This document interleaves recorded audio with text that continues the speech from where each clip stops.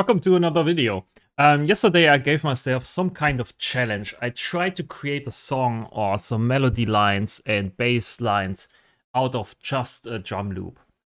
So um, there's a benefit of using highly reactive audio effect chains on audio material because every time you change the audio material or the input or the source uh, to your effect chain, then the whole thing changes, right?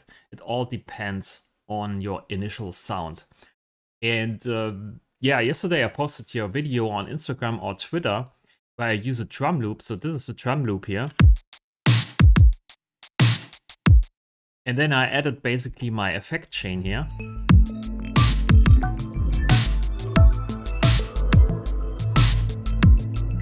To create basically the rest of the song or the rest of the craft or, you know, um, the, the, the, the loop. And this is super interesting, like I said, because when you change drum loop, the whole thing changes also with it. And there are different tricks I use here, and I wanted to show you some of the tricks I'm using to maybe can replicate this in your, you know, at home, in your own environment and get some ideas or some inspiration out of it. So maybe we'll just listen to the second drum loop. I didn't show this yesterday. So uh, first I start with the drum loop so you can hear how the input material sounds.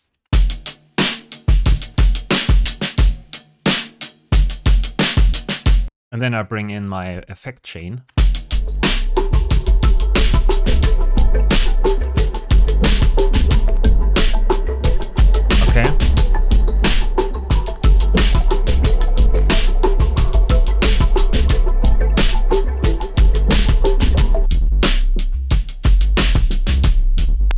There's even the bass sound is generated from the input sound. So now when we change the drum loop to this drum loop here, we also change the speed, of course, because it's a different BPM here for this drum loop.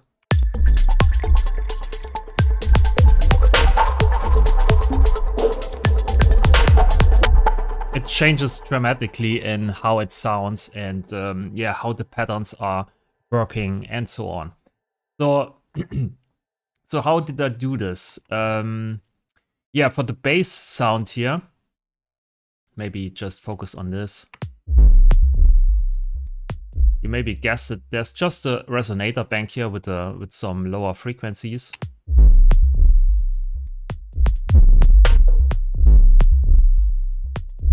And I trigger basically um, or I extract the gate signal from the drum loop here with the audio sidechain. And every time basically the kick drum plays, I trigger this resonator bank.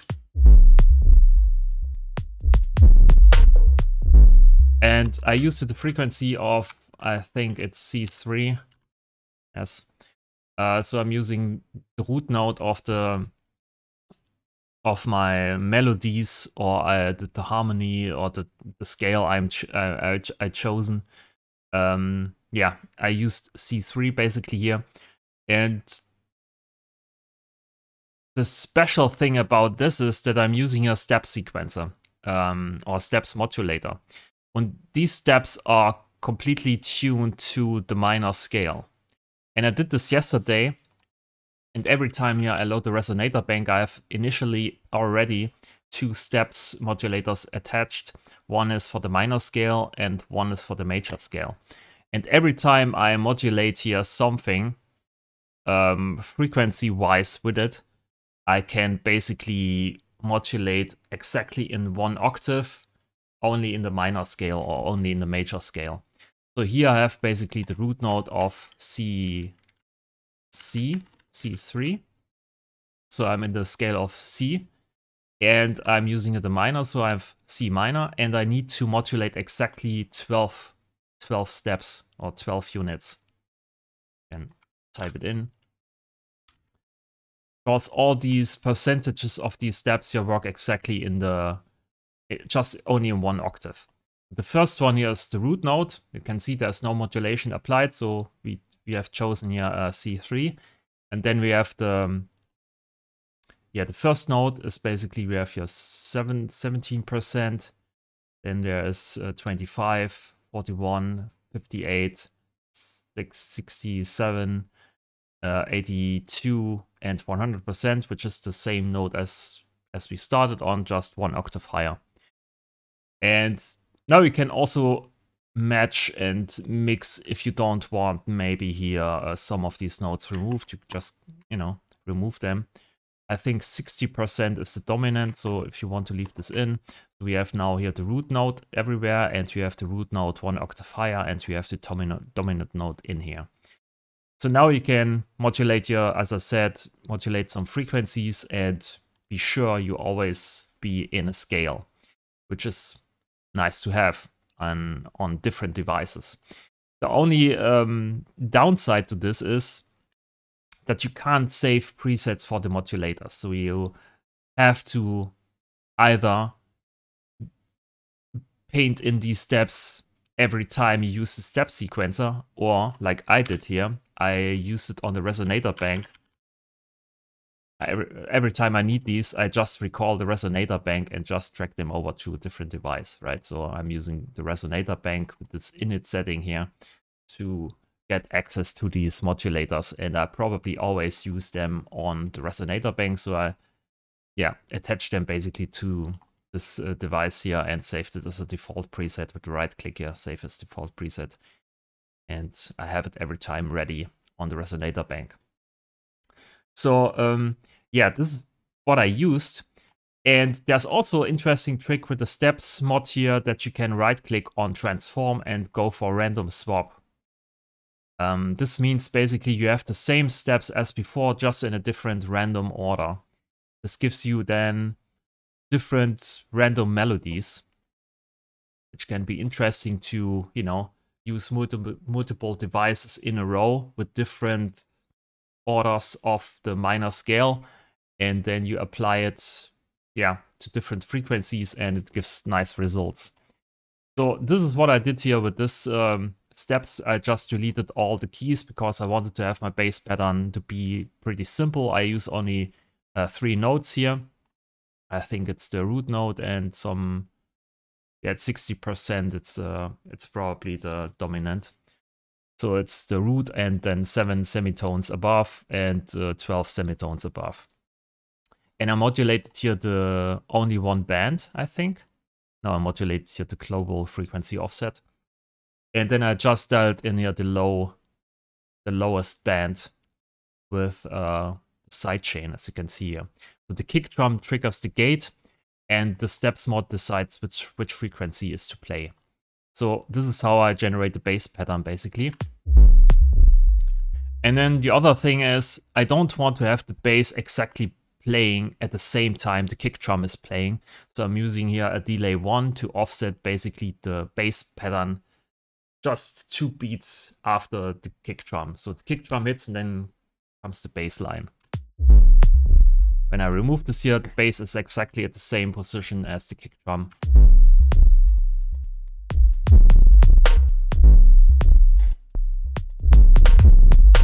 When I offset this, it's a bit more interesting because the bass is between the kick drums.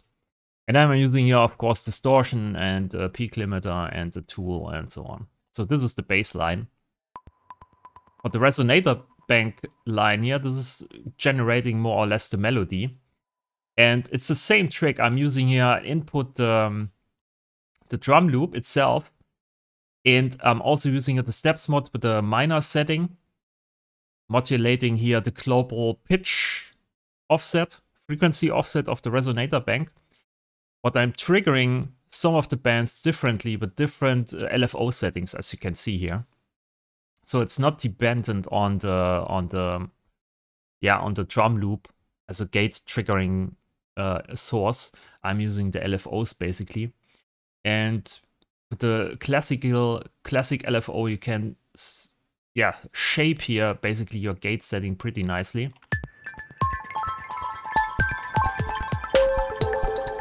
So you can decide how long the sustain is of the bleeps and plops. You can also choose your different speed settings, which can be interesting. As you can see, I'm using dotted here and maybe use this here.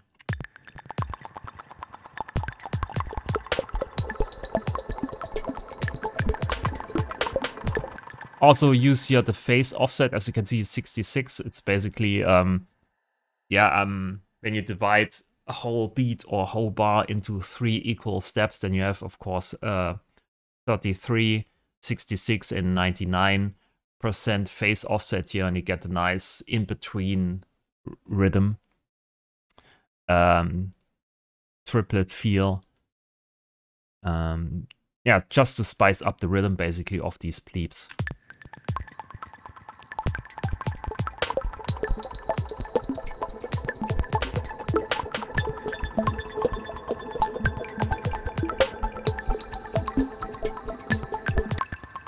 So this is that. And then I have a chain here. In the chain I have a pitch shifter.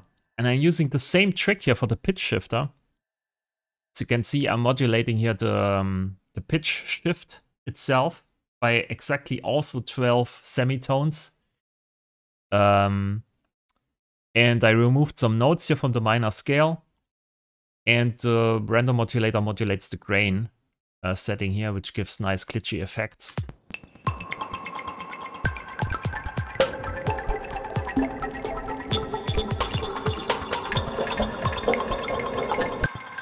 And also because I'm using the steps with the minor scale, I'm making sure that I'm staying in uh, in the minor scale of my root uh, of my root node of C. Um, yeah, I just blended this in here just a little bit. Also using here Plurdevice to get some yeah nice effects. Also reverb and the delay, of course. So this is that. Then a peak limiter to just level something out or get rid of some of the peaks. A reverb, a delay then I'm using your halftime to slow down the sound. I'm using, uh, this is a preset here that's available in my uh, Tools kit or preset pack.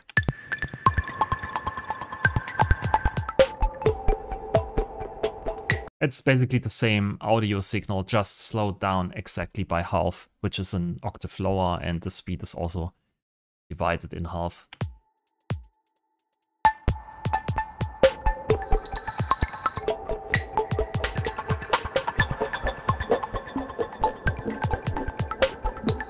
I used it here multiple times, so you have also the slowed down version slowed down again a bit.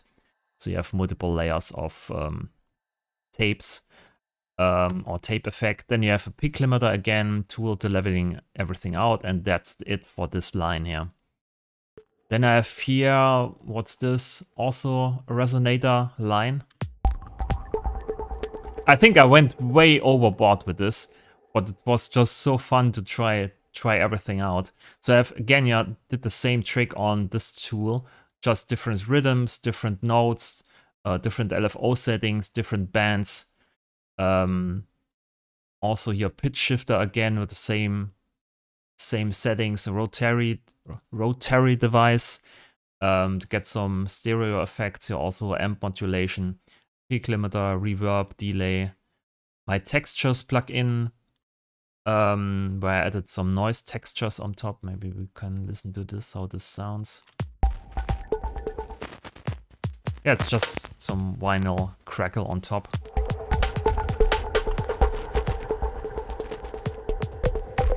It's it's mixed in with uh, amplitude modulation, so it sounds more like it depends on the on the input signal also.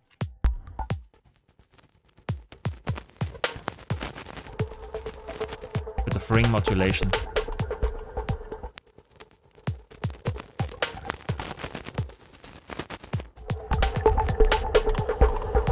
So this gives some nice uh, crackle effects. Uh, peak limiter, tool device, and that's also it for this track here. And then we have at the top also resonator bank, different settings. And here I'm using again audio sidechain on different frequencies. Here on the kick drum, here on the snare drum, and I think here on the hi-hats.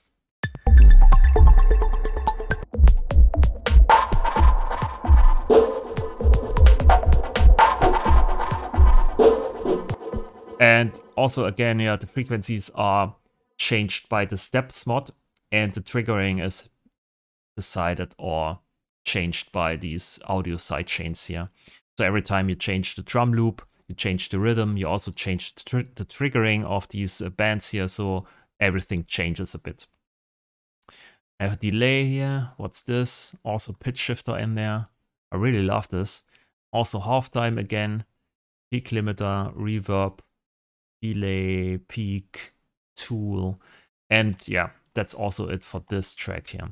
At the end of the FX layer, I have a user Gullfoss here just for quick mastering and the limiter.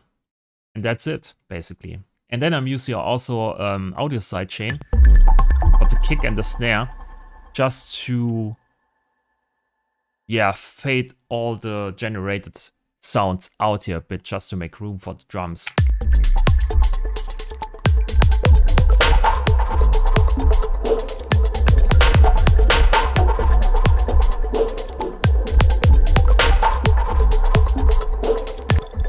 So pretty interesting.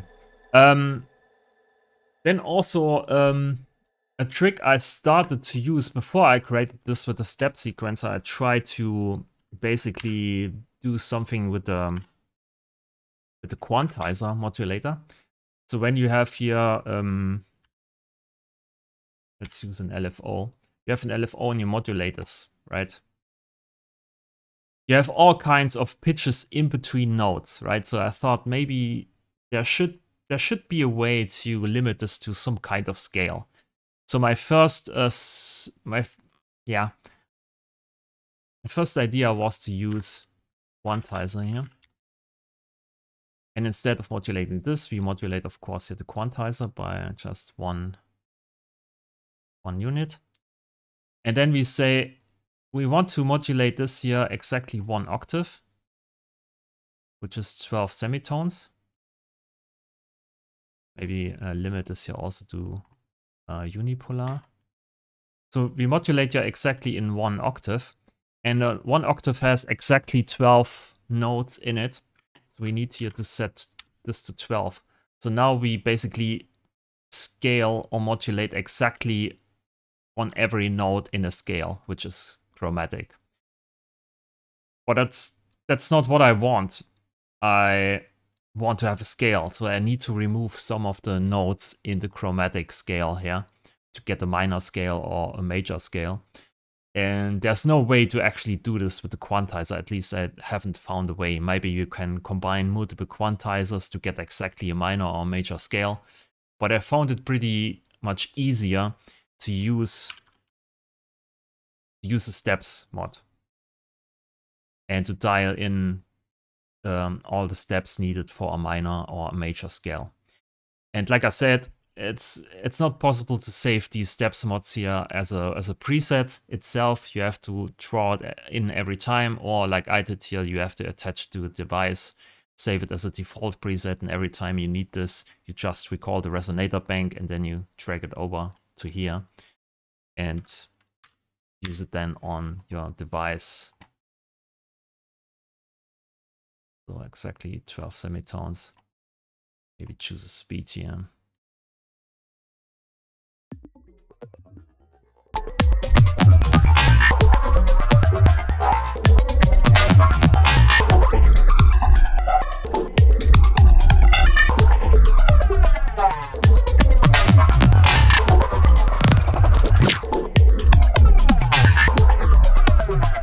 Ah, sounds also nice. So yeah, you make sure you basically stay in key with some of your uh, devices. This not only works on the pitch shifter um, and the resonator bank, you can also use this on maybe the, the frequency shifter here.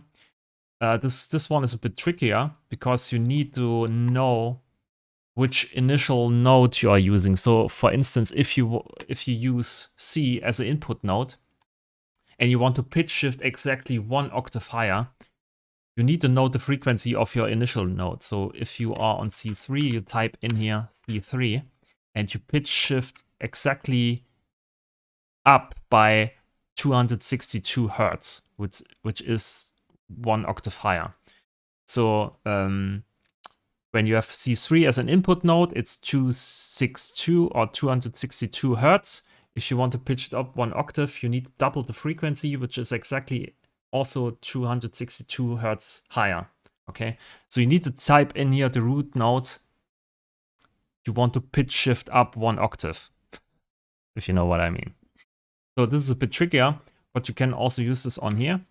Um, then what else? Um, I think also the comb filter.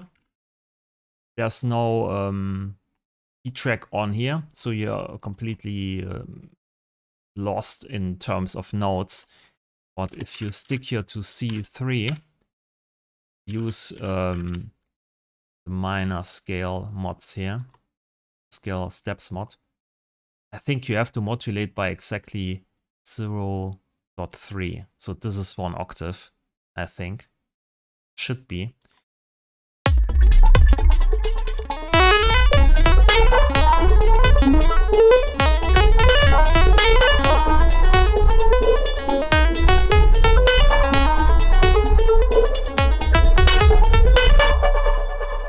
You can also use this on the comb filter and some all kinds of other devices. You can try it out for yourself. I put here the resonator bank with the yeah with the minor and the major scale attached to it in my GitHub repository. I also post a link in the description below so you can download it if you want. The init setting of this here is C3 as a root node and then the harmonic series on top. So um, just so you know what's happening on here with the rest of the sliders. So I dial down all the bands here. So only the first um, slider or the first band is active, more or less. And you can dial all these overtones in if you need them or change it to your liking. But this is basically C3 and all the uh, harmonic series on top as overtones and of course my minor major steps mod attached okay? So i put the link in the description. You can try it out for yourself and create nice rhythmic uh, delays here like i did. Um, it's pretty funny actually. Um, 85